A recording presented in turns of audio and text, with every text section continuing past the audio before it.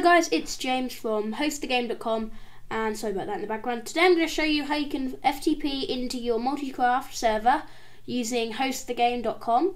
Sorry about the uh, Skype. I should probably actually uh, put on Do Not Disturb. Um, so yeah, um, this is show. I'll show you how you can um, FTP into your servers. So you want to log in and then click servers.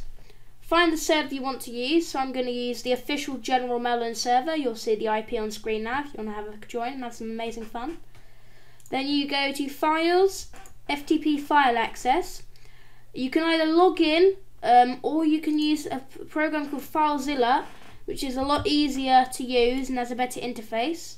So you want to drag it to the side of the screen, like this. Uh, enter the host would be this IP here, so we'll just copy that IP. The username is uh, that there, so I'm just going to enter my username. Make sure, and then I enter my password, and then the port, which is 21. Uh, but this all has to be your details, you can't just copy what mine are on screen.